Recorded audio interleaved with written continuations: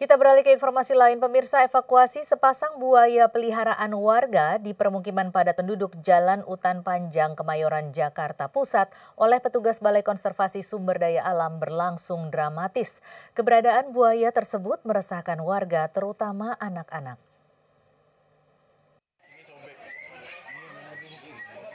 Petugas Balai Konservasi Sumber Daya Alam Jakarta Pusat langsung diterjunkan ke lokasi guna mengevakuasi sepasang buaya peliharaan warga di kawasan pemukiman padat penduduk Jalan Utan Panjang, Kemayoran, Jakarta Pusat. Proses evakuasi berlangsung cukup dramatis, di mana petugas harus menangkap buaya dewasa yang bersembunyi di dalam kamar mandi lantai satu. Evakuasi selanjutnya dilakukan petugas terhadap buaya kedua yang ada di lantai dua rumah. Meski merupakan hewan peliharaan sang penghuni rumah sejak masih bayi, petugas tetap harus berhati-hati saat mengevakuasi buaya itu.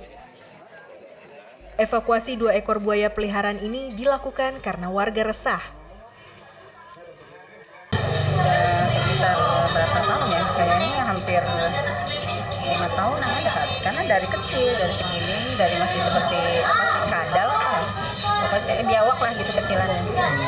Ini uh, bapak apa warga itu memang koleksi hobi atau apa bu? Nah, memang anaknya yang hobi. Dia punya komunitas pencinta apa binatang yang buat seperti itu. Kayak buaya kayak Tapi, kayak biawak kayak gitu dia senang. Dengan cara dibungkus dan diikat pada bagian mulutnya, Kedua hewan melata tersebut akhirnya berhasil dievakuasi petugas dan langsung dibawa ke kantor BKSD Salemba.